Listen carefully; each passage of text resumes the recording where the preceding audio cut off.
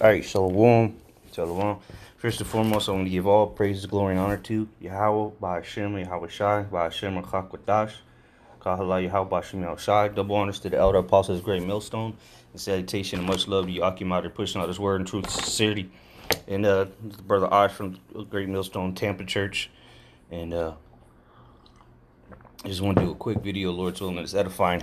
you know, on the prophecy of us being taken out of all these lands that we've been scattered through, and the Lord Yahweh, well Yahweh Shai, putting us back into, all right, into that promised land that was promised unto our forefathers Abraham, Isaac, and Jacob. All right, so Lord's will, this is edifying. All right, um, we're gonna go ahead and start it. Uh, just flow in the spirit here. Go in Jeremiah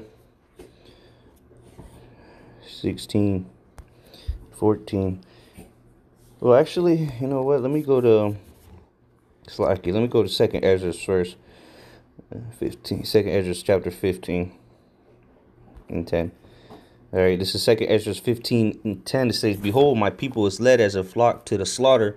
I will not suffer them now to dwell in the land of Egypt. All right, and we know that that the we're not the, the children of Israel are no longer in the in the modern day Egypt all right, the, the ancient land of Egypt, so to say. all right, that captivity was done away with. All right, the land of and the Israelites were taken out of there by the hand of, of the Most High, uh, with Moses leading them out.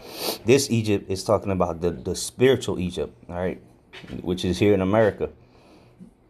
It says, But I will bring them with a mighty hand and a stretched out arm and smite Egypt with plagues as before and I will smite all the land thereof. So that goes to there goes to show you that this is talking about the modern day Egypt, which is a, a, America, aka Babylon, aka Sodom. Okay. So this is clearly talking about the days that are that are to come. Okay. Where the Lord is going to deliver us as He did before. Okay. In great fashion, even greater than last time. Okay, he's going to bring the same plagues and more that he brought to Egypt. Ancient Egypt. So the, those same horrendous plagues that the Lord brought on, on uh, Pharaoh and all the people of Egypt is going to come back here again to the modern day Egyptians and more this time, even more. Because at least Egypt didn't get destroyed with nuclear missiles. All right. It says, verse 12 Egypt shall mourn, and the foundation of it shall be smitten with the plague and punishment that the Most High shall bring upon it. So there you go. The Lord's bringing all this to the to the land. Slack it had to get this dog out of here. But uh, you know, now let's jump to Jeremiah 16 because everybody knows about the ancient Egypt and the Exodus. Right? They make movies to this day about it. People are still talking about it. You got children's books coloring books about it. Right? Any any but you go for the for the majority, the most part. You ask anybody about ancient Egypt and Exodus, you know, and Moses, they're gonna know what you're talking about. All right, well, let's see what the scriptures say, though. This is Jeremiah 16, verse 14. It says, Therefore, behold, the days come, saith Yahweh, that it shall no more be said, Yahweh liveth, that brought up the children of Israel out of the land of Egypt, but the Lord liveth, Yahweh liveth, that brought up the children of Israel from the land of the north, and from all the lands whither he had driven them, and I will bring them again into their into their land, and that I gave unto their father. So now it's going to be said, talked about this new Exodus. All right, mainly it's going to be here in America, which is the land of the north, and then the deliverance that takes place around the world, wherever the elect is is scattered. Okay. That's what people are going to be talking about. All right, the, the the exodus of the past is going to be a cakewalk. You know, it's going it's going to be com- nothing compared to what the Lord is about to bring upon America and upon this whole earth. Really, all right. He's going to bring his flock out of there. His, like we read in uh, Second Esdras, it said, "My people led to, like a flock to the slaughter." So he's comparing Israel, all right, as a uh, as a flock or sheep. Okay, well, because what makes up the flock is a bunch of sheep. Okay, so let's get into well. Well, let's see what. Uh, That's why the Lord. Well, let's go back to uh, uh, Second Ezra. So make sure you read. It says, "Behold, my people was led as a flock to the slaughter." Now, who did you have a Shai come for? Who did he come to wake up? That's easy. Matthew 15 and 24. This proves that the Lord only came for the children of Israel. It says Matthew 15, verse 24. But he answered and said, I am not sent but unto the lost sheep of the house of Israel. That that's the lost sheep is what make up the house of uh or the Lord's flock. All right, that's being led to the slaughter. But now he's not going to suffer them to be uh, in the land of Egypt anymore. All right, because the Lord is coming for his flock, his sheep as he did before. He came to wake them up, and now he's coming to gather them. this is uh go to Ezekiel chapter 34 verse 12 it says Ezekiel 34 and 12 as a shepherd seeketh out his flock. All right so who who who is that shepherd? All right who is the flock? Who is the lost sheep of the house? It said the lost sheep of the house of Israel okay so we know, we know who he's talking about. it says, "As a shepherd seeketh out his flock in the in the day that he is among his sheep that are scattered, so they the lost the, the lost sheep of the house of Israel." See, this is it's all about Israel. All right, salvation, redemption. All right, it's all about Israel. Say, so will I seek out my sheep and will deliver them out of all places where they have been scattered in the cloudy and dark day. All right, that's the day of the Lord. A dark and gloomy day, day of uh, uh, darkness and not light. And again, um, remember said in uh, Jeremiah 16 that he was going to gather us from the land of the north and all the parts where he, all the lands that he scattered us to. And here's another precept to prove that. It says, out of all places where they have been scattered, because well all uh, pursuant to deuteronomy 28 one of the curses is that we would be scattered among all nations people and tongues. All right all lands. We would be scattered throughout the four corners of the earth. But what then the lord would come and, and, and gather us from all the four corners of the earth from all the nations from all the peoples and tongues okay?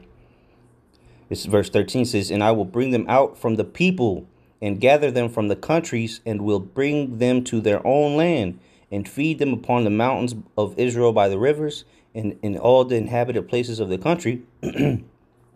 I will feed them in a good pasture, and upon the high mountains of Israel shall their fold be. There shall there shall they lie in a good fold, and in a fat pasture shall they feed upon the mountains of Israel. There we go. Um, I could keep reading. It says, uh, verse 15, I will feed my flock. Again, who's the flock? The flock of the Lord all right, his, his, his sheep, the Israelites. says, I will feed my flock and I will cause them to lie down, saith the Lord Yahweh. I will seek that which was lost. Again, what, what did Yahweh say in, in Matthew 15? The lost sheep of the house of Israel. I will seek that which was lost and bring again that which was driven away, and I will bind up that which was broken and will strengthen. Then the, then the Lord said he's going to come with healing in his wings. So we're going to bind up that which was broken. It will strengthen that which was sick. He said, I came to heal the sick as well. And this is Old Testament, man. Why do you think Yahweh Shai said these things? That he came, he came not for the whole, he came for the sick. All right. Came with he's coming with healing in his wings. It says, But I will destroy the fat and the strong, I will send them with judgment. I will select I will feed them with judgment. So the Lord's going to take down those that have been on high and, and restore us into our proper position set us back in our land. Who? His sheep, his flock. Okay, let's go back to um, Jeremiah chapter 32. Um, Jeremiah 32 and 37. It says, Behold, Jeremiah 32 and 37, Behold, I will gather them out of all countries whither I have driven them in mine anger and in my fury and in great wrath. So the, the you know again the, the curses befell us because what we disobeyed the Lord and He was angry with us. He was furious. He brought great wrath upon us. But now He's gonna return their captivity. All right. He's gonna He's gonna um uh, how, what's how to say uh reverse it. It says, and I will bring them again into this place, and I will cause them to dwell safely and they shall be my people, and I will be their power. And I will give them one heart and one way, that they may fear me forever, for the good of them and of their children after them.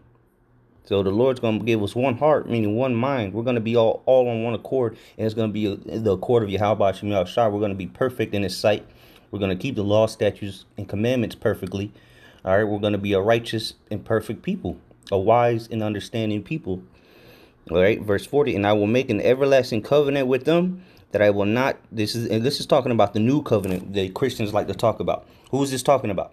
That he's going to gather from all these countries and that he drove them out into. Those same people he drove out and scattered is, is who the new covenant or the everlasting covenant's for. The new covenant. Covenant. It ain't for everybody. Everybody wasn't scattered in the anger. All right, because the Lord was angry with them. we just proved the precepts to who this is talking about his flock, his sheep. All right. Uh, again, it says, uh, verse 40, and I will make an everlasting covenant with them that I will not turn away from them to do them good, but I will put my fear in their hearts that they shall not depart from me. So, what's the beginning of, of knowledge is the fear of the Lord, you know, roughly paraphrasing. So, if we, if we, if the Lord's going to put that fear in us, then we're going to automatically just keep His commandments because we know, understand what is the repercussions of, of disobeying Him, and that's fear of the Lord. You fear Him, therefore you're to let's obey Him. Okay. All right, we'll get one last precept here in the uh, Jeremiah 23 now. Uh, verse 7, I think. Yep, pretty much reiterating what he said in the 16th chapter. This is Jeremiah 23 and 7. It says, Therefore, behold, the days come, saith Yahweh, that they shall no more say, Yahweh liveth, which brought up the children of Israel out of the land of Egypt, but Yahweh liveth, which brought up and which led the seed of the house of Israel out of the north country and from all countries whither I had driven them, and they shall dwell in their own land. So there you go. That you can't get no more simple, uh, clearer than that. It said, which led the seed of the house of Israel out of the north countries. I mean, how, what can you say against that, man? All right. The seed, this is the salvation. All right. The kingdom of heaven, the restoration is for who? The seed of Israel of the house of Israel, the Israelites, the Lord's sheep, Lord's pasture. Okay? So with that, Lord willing, this was edifying. Until next time I say shalom.